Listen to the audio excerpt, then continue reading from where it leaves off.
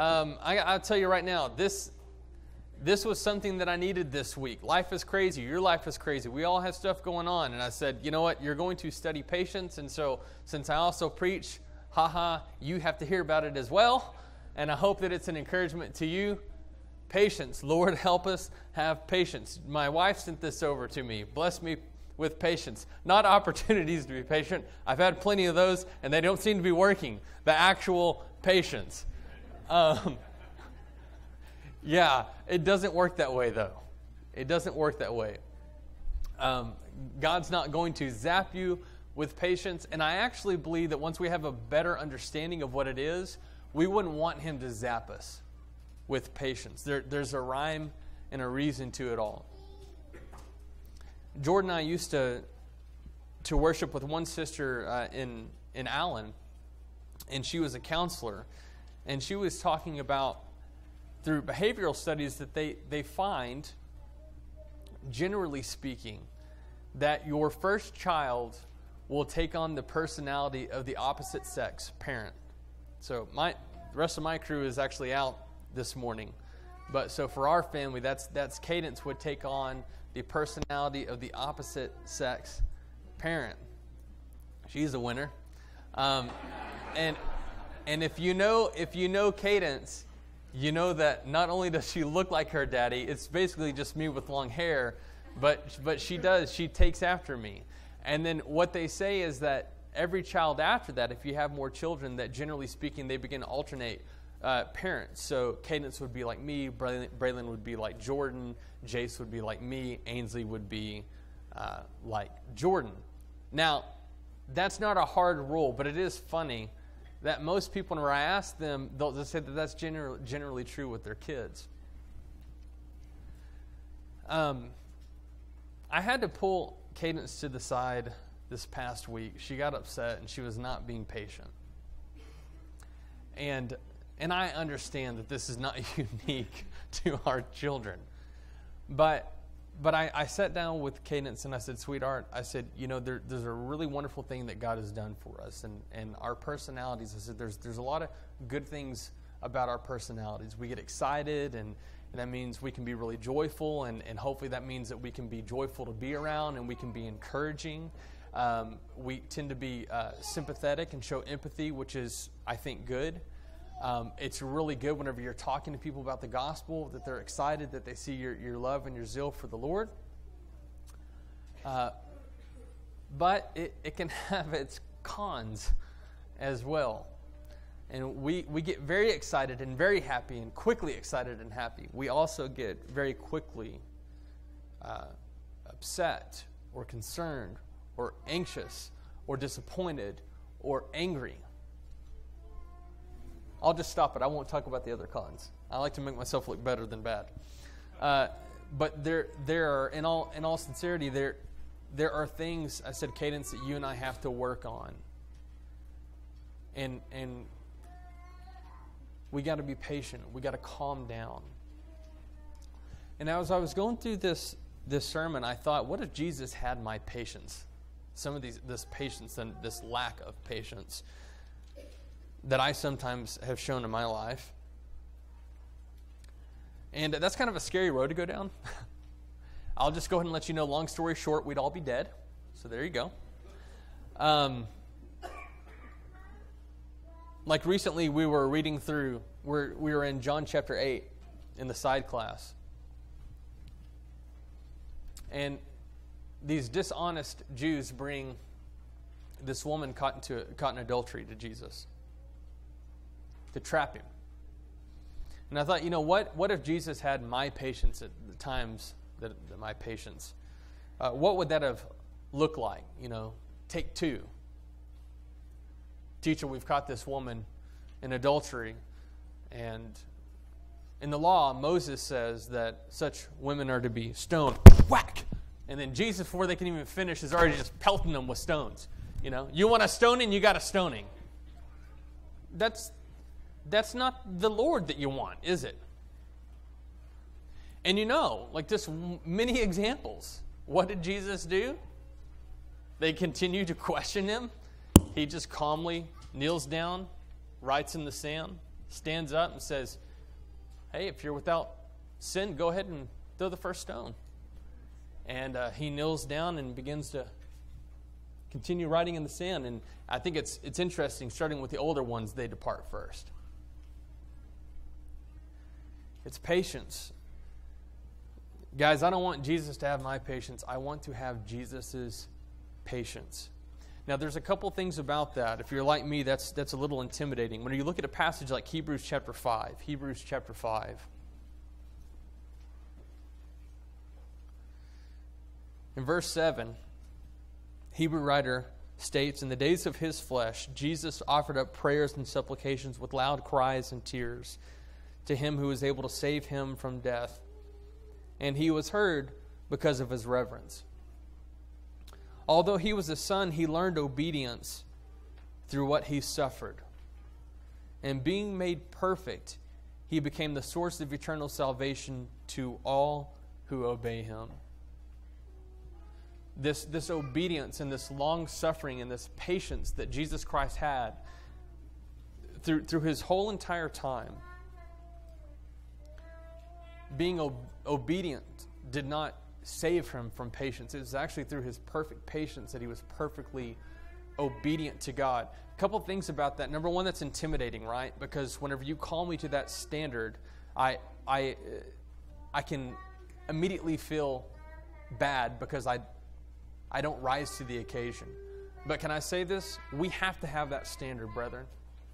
If we didn't have that perfect standard of patience, who do we turn to? How do we know? What, what would that look like? So we need that standard. But what I also want you to, to take note of, and we'll see this as we go through the study, that we're blessed by God because we have Jesus' perfect example, but we're also blessed by God because he has saved for us these examples of other people that have gone down this road with us, that have also shared in flesh and blood, that did not have perfect patience as Jesus, but were counted righteous by God. And we have them to look to as well. But we do need patience. Um, James chapter 5. This is kind of the, the foundation of our study this morning. James chapter 5. Brethren, sometimes we need patience. Before we jump to suffering, as we often do, we just simply need patience in, in waiting.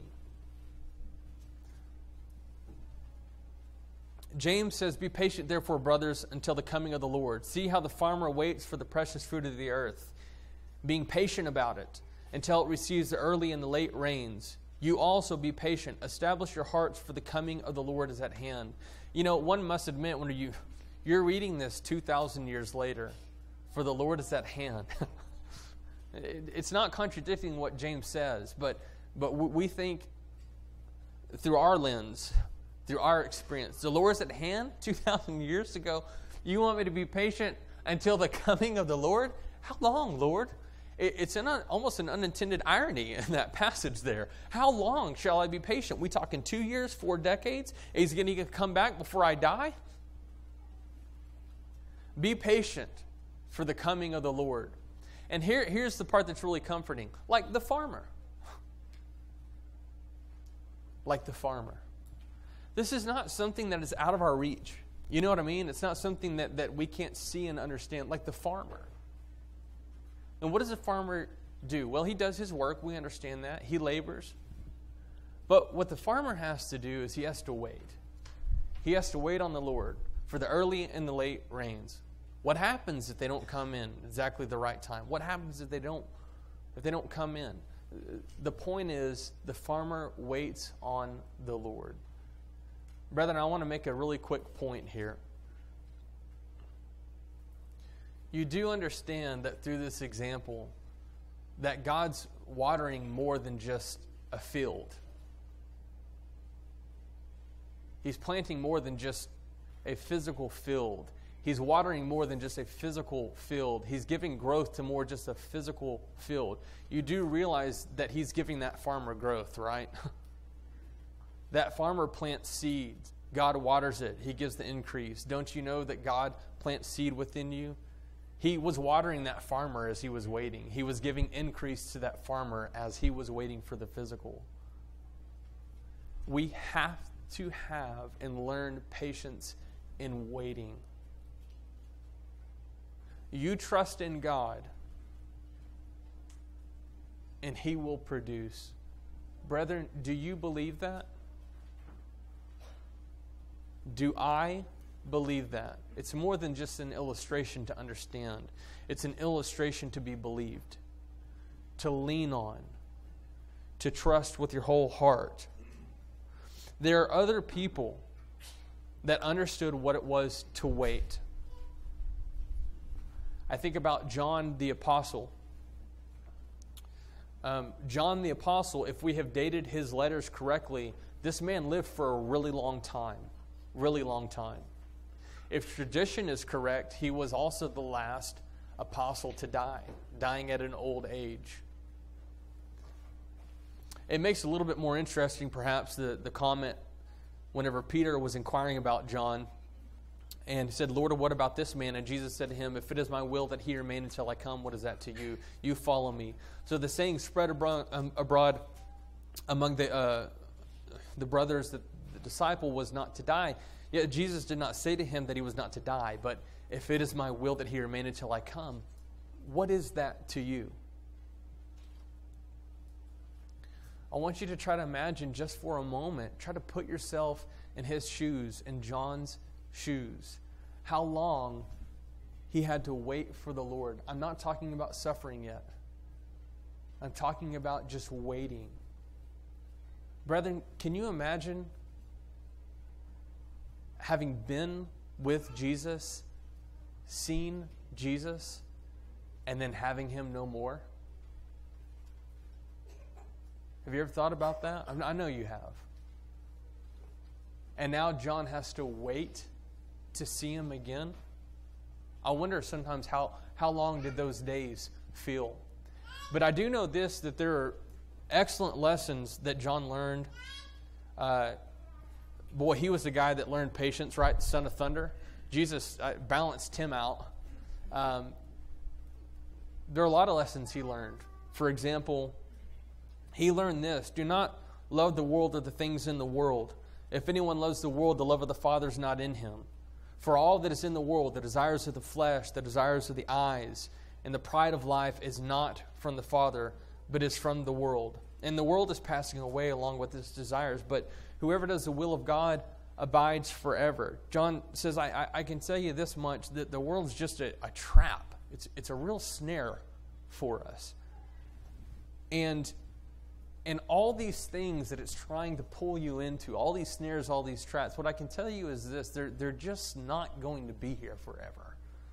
But what I do know, what I've really learned and come to comprehend and believe in, is that those who follow God remain forever. But in order to do that, you have to give up everything. I mean, truly give up everything, all your desires and your cares and your wants, and you got to throw them away, and they have to be fulfilled in the Lord. That's what I do know. And, brethren, we have to be very careful. Now, practically, let's talk about the world in which we live. There are a lot of things like eh, with technology. Everything that seems to bless us turns around and curses us. You know, like you talk about vehicles, they're, they're wonderful and they've helped us in so many ways in travel and and work and etc. But on the flip side, like you have bills, you have maintenance, you have gas, you have registry, right?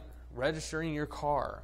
Uh, you can look at the technology when it comes to computers. Think about all the great things we've been able to do in business. Think about how we've been able to, to reach people with the gospel across the world without setting a foot over there, right? Uh, we have Facebook and all these things we can go to that that reconnect us with people and, and we're able to share with what's going on. Um, but it also gets us in a lot of trouble, does it not? These things of the world. A lack of patience in a car. Everyone been in traffic in the DFW area? The lack of patience on the computer. Anyone been in some fun uh, political or religious debate on Facebook? That's a fun one. Sexual temptation. You think a computer's ever been a problem for someone? I was reading an article Friday where this man was talking about their family went out to eat and their little girl said a, said a prayer for the family. And instead of saying, Dear God, she said, Dear Alexa.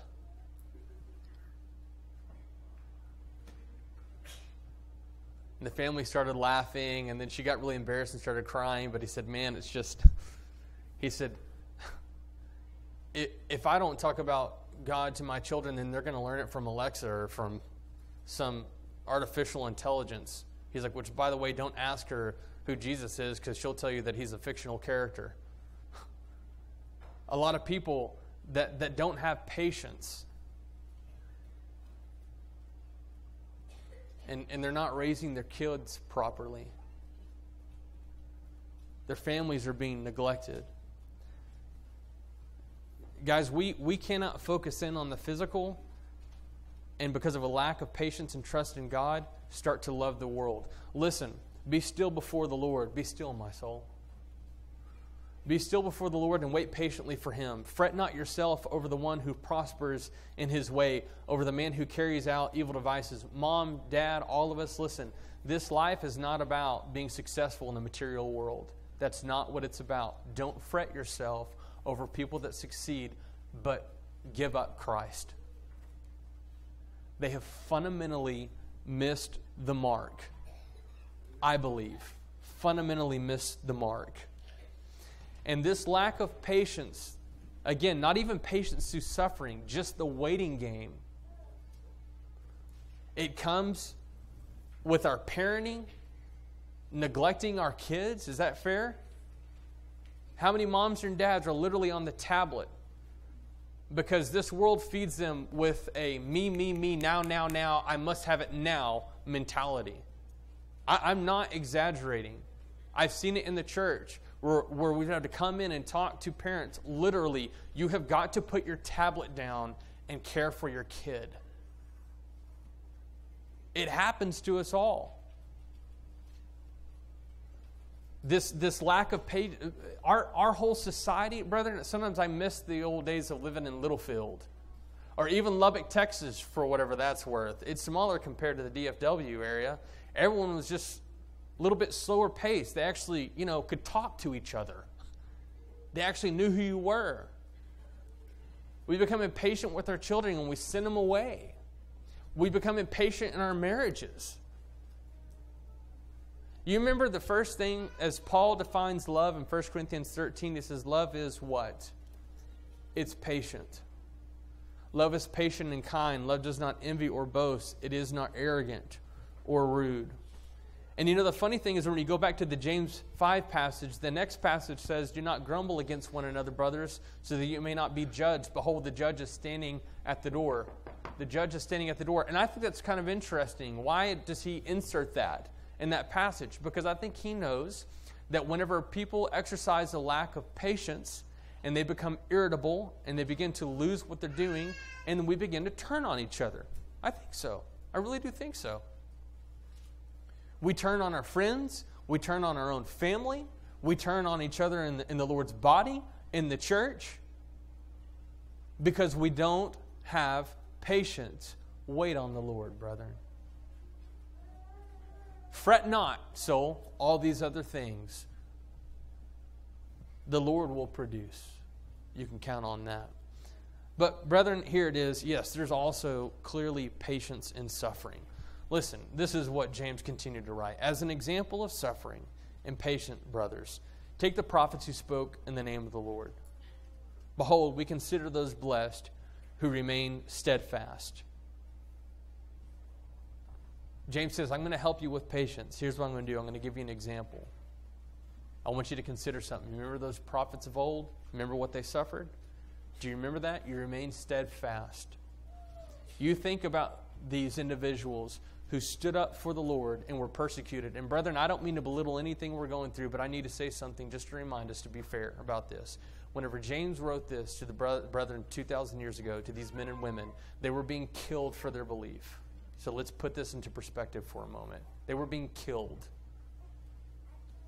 I dare say this meant a whole lot more to them than it does to me. And also, let me say this to be fair we have brothers and sisters in the world who are being killed today. And many times I forget that. God, forgive me for forgetting that. These passages probably mean a little bit more to them. But that's not to belittle the things that we go through. And so God wants us to also understand patience and suffering. But now here comes this interesting statement. You have heard of the steadfastness of Job, and you have seen the purpose of the Lord, how the Lord is compassionate and merciful. God wants to help you in patience. Here's what he does. He does it through through James. He says there's some things I want you to consider and there's something I want you to hear. You've heard you've heard about Job. Faith comes by hearing and hearing by the word of God. Brethren, this is how it works. I'm going to start here. I want you to hear something. You've, you've heard about Job, right? And you've heard about the, the, the purpose of the Lord, and you've seen, you've seen this. The compassion of the Lord and mercy. And we go, I'm sorry, did did you say Job? you want me to see the compassion and the mercy of the Job in Job?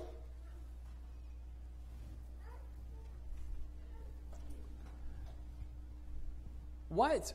What was the purpose of Job?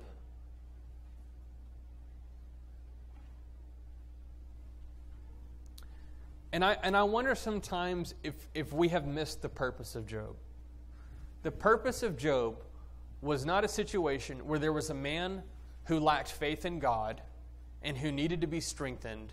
And so God put him through the ringer so that way he would come out stronger and then God was compassionate and merciful in that He gave him back everything.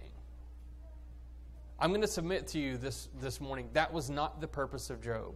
And the reason why I'll say that confidently is simply this go back and read Job. That's not what happens. Satan challenges God. And he tells him the only reason why Job is faithful is because you protect him. And God says, Not so. And Satan says, eh, So. and there's Job for you. And then the rest is history. And God says, No, what I say is true, so go ahead. Now, did, did Job grow, grow even closer to God through that? Amen. Can we go through suffering to grow closer to God? Amen. There's plenty of passages that teach us that. But that's not Job. And that's a tough pill to swallow for many. And I think that there's more than just the fact that God restored him, his livestock, and his family.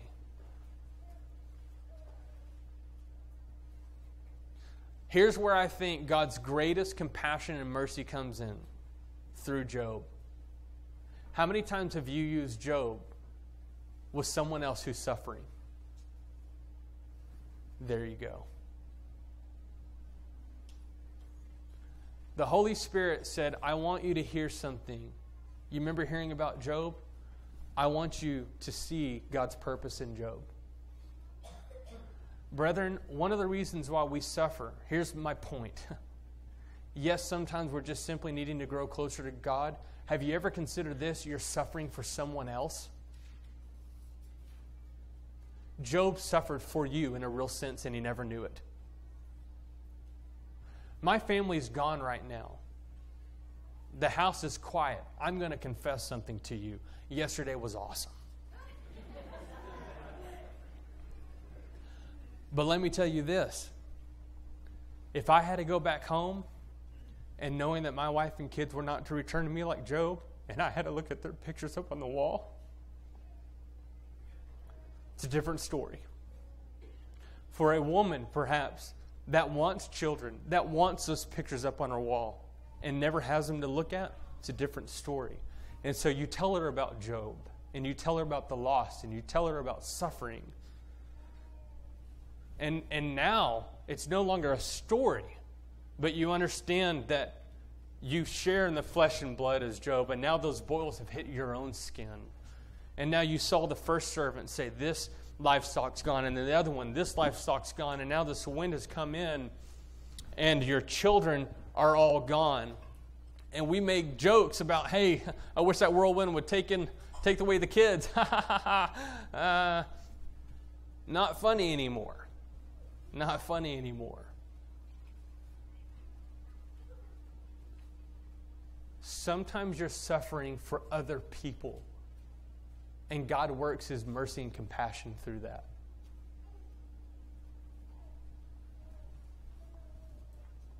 And we urge you, brothers, admonish the idle, encourage the faint hearted, help the weak, be patient with them all. See that no one repays anyone evil for evil, but always seek to do good to one another and to everyone. Paul's saying I, we need to be patient. Why? Because there are those that are idle, there are those that are faint hearted, there are those who are weak, there are those that want to repay evil for evil. You, you can't, I can't, we can't be doing that. So we got to be patient. Paul understood what patience and mercy was all about. Jesus had forgiven him, but I received mercy for this reason that in me, as a foremost, Jesus Christ might display his perfect patience as an example to those who were to believe in him for eternal life. Peter wrote, The Lord is not slow to fulfill his promise, as some count slowness, but is patient toward you not wishing that any should perish, but that all should reach repentance. God is patient. You saw this in the article that Eddie wrote this morning. The reason, literally, brethren, the reason why we're worshiping right now is because of God's compassion and His mercy. He's giving other people a chance to repent. He's giving us more time to share in His holiness. That is what it's all about. Patience in waiting, God will give the increase. He will give the increase. He will produce. Trust in it. Patience in suffering because he will put you through the fire and that, that, that heat has to be cranked up.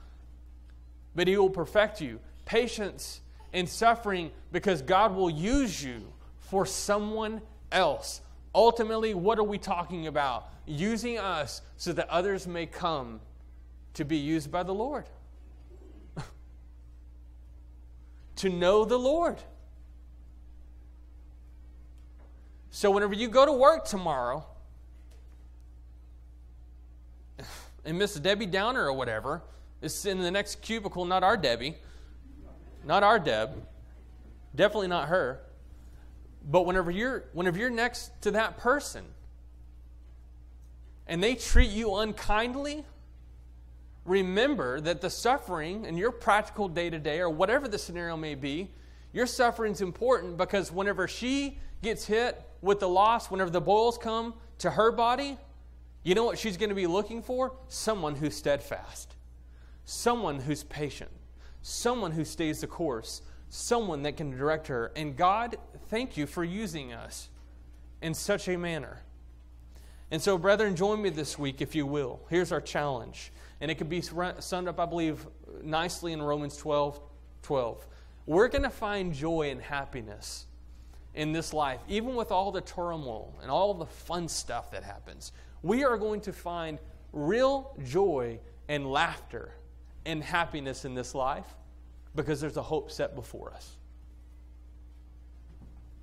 And we are going to be patient in tribulation. And, brethren, just as important, and you know that the farmer had this when he was waiting for the rains to come in, we are going to be constant in prayer. I cannot truly be patient and lean on the Lord if I'm not talking to Him. Amen? Hey, brethren, are you talking to God? Brethren, are you talking to God? How often do you talk to God? How much do you trust in God? Don't tell me you know Him if you're not talking to Him. You don't know me if you don't talk to me. Don't tell me you know Him if you're, if you're not talking to Him. Don't tell me you trust Him if you're not talking to Him. You found a good group here at Melrose? Friends. What does that have to got, got to do with anything if you're not talking to God? You say you're growing whenever you're not in His Word and talking to Him? Just because you have friends here doesn't mean you're a friend of God. Brethren, I'm not trying to say that to be harsh. I'm actually saying that to wake us up if that's the case. Because if that's the case, we're leaning on the wrong people. We need to be rooted in Christ. I hope this has been an encouragement. Brethren, truly, I hope this has been an encouragement. The Lord is here for you. If we can do anything for you at all to encourage you through this road, Lord, help me with patience.